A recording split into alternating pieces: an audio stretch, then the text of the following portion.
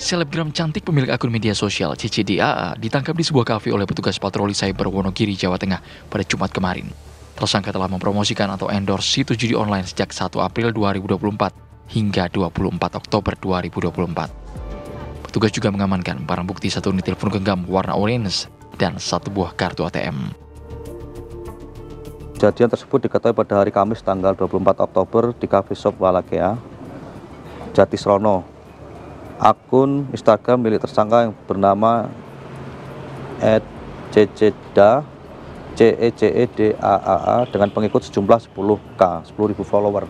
Cukup lumayan banyak ini untuk endorse bahwa pemilik akun tersebut inisial C di mana dalam situs yang dipromosikan tersebut bernama Tuaga dan sempat berganti nama menjadi Tahu Play Tahu Play yang memuat tentang perjudian tersebut. Tersangka dalam melakukan promosi endorse judi tersebut sejak tanggal 1 April 2024. Dalam mempromosikan link situs bermuatan perjudian tersebut, tersangka lakukan setiap hari sebanyak dua kali, yaitu setiap jam 3 sampai jam 13 siang, jam 3 subuh dini hari ya, dan jam 13 siang dini sampai jam 20 malam. Dalam pemostingan di, sto di story Instagram, tersangka melampirkan gambar berupa testimoni percakapan terkait kemenangan dalam melakukan perjudian di situs tersebut. Atas perbuatannya, tersangka terancam hukuman maksimal penjara 10 tahun dan denda 10 miliar rupiah. Dari Wonogiri, Jawa Tengah, Agus Sabtono, TV One, mengabarkan.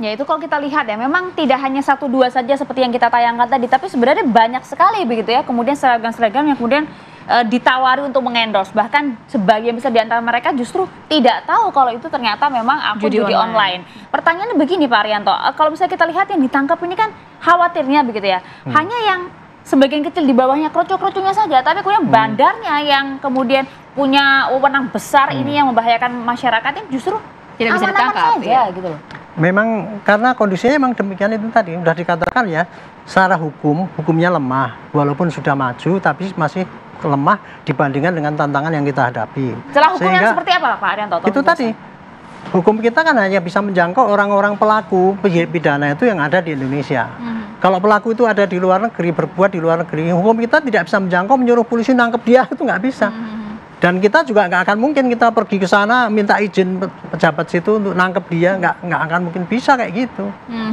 gitu jadi ini ya ini masalah ini mas masalah serius nggak yeah. bisa kita cuman apa selesaikan dengan kulit kulitnya saja itu harus secara masif Sampai ya akar -akar. mulai dari tahap pembinaan itu tadi ya pembinaan hmm. harus secara masif semua yeah. unsur terlibat literasi terus di anu supaya tidak banyak korban-korban yang terjerat hmm. Hmm. untuk preventif itu aparat yang dikasih apa, kewenangan untuk me mencegah secara fisik gitu ya itu harus apa efektif hmm, okay. dan disertai pengawasan dari atasannya supaya dia yeah. tidak sampai kolusi hmm, gitu. Hmm, hmm. Nah yang terakhir penegakan hukum ya, ya itu tidak cukup dengan undang-undang yang sekarang ada, harus okay. undang-undangnya direvisi. Saya mengusulkannya, okay. UHAP itu kan ada perbaruan, ya, ya, ya. termasuk khusus bagaimana hukum acara untuk masalah tindak pidana digital hmm. harus khusus itu, hmm. sehingga nanti tidak nanti hakimnya tanya ini tanya itu kan ya nggak mungkin dapat gitu. Oke, okay. coba kita gitu. tanyakan ke Bang Dev. Bang Dev ada uh, catatan dari Pak Arianto, ini harus ada revisi undang-undang, KUHAP-nya direvisi karena memang beberapa case kita terpentok dengan uh, undang-undang yang digunakan di luar negeri begitu penegakan hukum yang berbeda dari Indonesia dan juga luar negeri sehingga yang ditangkap hanyalah mungkin influencernya kemudian juga uh, pegawai Komdiji tapi bandar-bandar utamanya ini justru uh, lolos begitu tidak bisa ditangkap. Iya, uh, apakah itu uh, dibuat KUHP khusus digitalisasi ya, khusus uh, apa namanya kriminal digital atau uh, di dari sisi undang-undang perbankan sendiri yang perlu diperbaiki uh, undang-undangnya sehingga bisa lebih tepat uh, mengejar mereka yang uh, melakukan transaksi di luar negeri uh, atau di undang-undang ITE sendiri ya atau cukup dengan aturan undang-undang nah itu ya perlu ada telaah sendiri dari Kementerian Hukum dan juga dari kepolisian dan kejaksaan sehingga uh, ada masukan semuanya dan uh, memberikan kekuatan yang pasti baik kepada aparat hukum untuk uh, penelusuran dan juga penyidikan uh, dan juga uh, penindakan pada mereka yang uh, terlibat di, di dalam uh, permainan ini.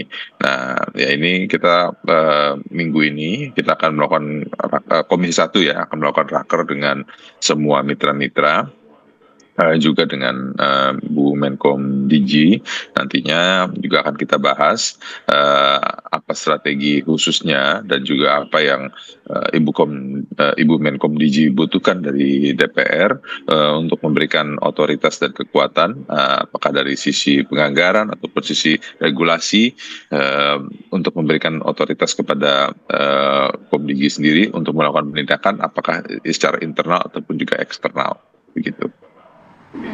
Oke, Prof, bagaimana Prof kemudian untuk bisa mengejar nih ujung uh, pimpinan dari judul ini, apakah kemudian harus ada kesepakatan siber antar negara atau bagaimana? Memang kalau pengalaman Uni Eropa adalah itu kenapa Uni Eropa 27 negara itu bikin uh, cybercrime-nya itu satu.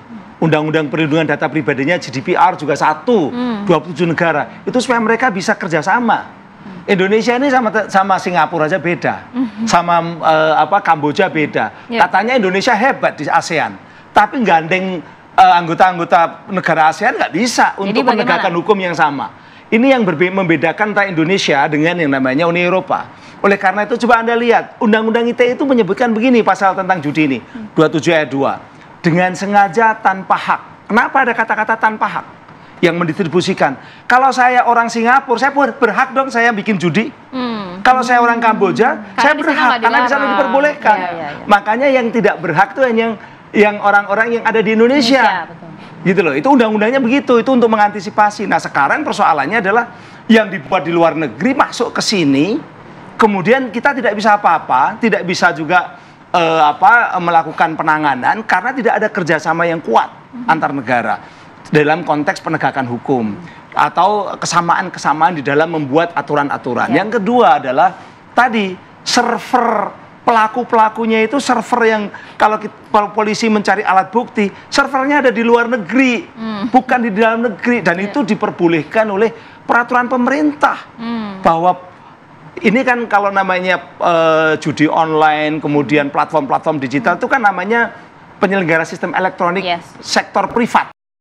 Nah itu di undang-undang kita, di perundang-undangan kita PP itu ber, apa uh, server untuk sektor privat ini boleh di luar negeri. Hmm. Ya di luar negeri semua. Nah itu tapi artinya kementerian kita Komdigi kita harus bagaimana? Harus Apalagi merubah. di internalnya ini loh. Harus merubah. Jadi ini yang pertama Komdigi ini harus mengembalikan yang namanya digital sovereignty, kedaulatan digital. Apalagi pakai AI nanti ke depan ini kedaulatan digital kita akan diaduk-aduk bangsa kita bisa berubah hanya gara-gara artificial intelligence dan sebagainya dan hmm. bisa rusak. Hmm. Maka harus ada kedaulatan digital. Gimana caranya?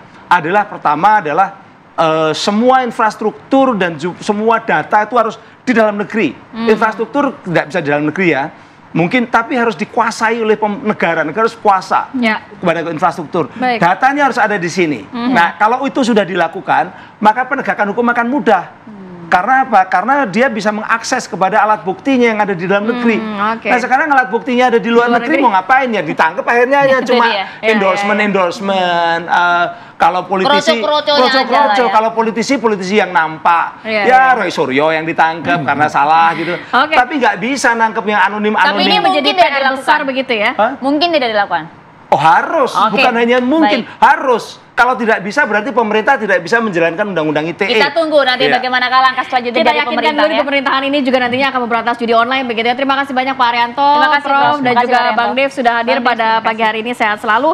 Untuk menutup kita pakai pantun dulu deh. Cakep.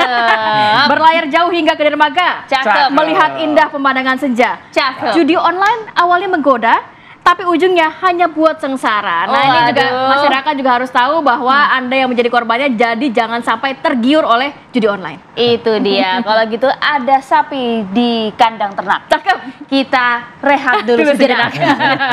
Kita akan kembali lagi. Indonesia pagi.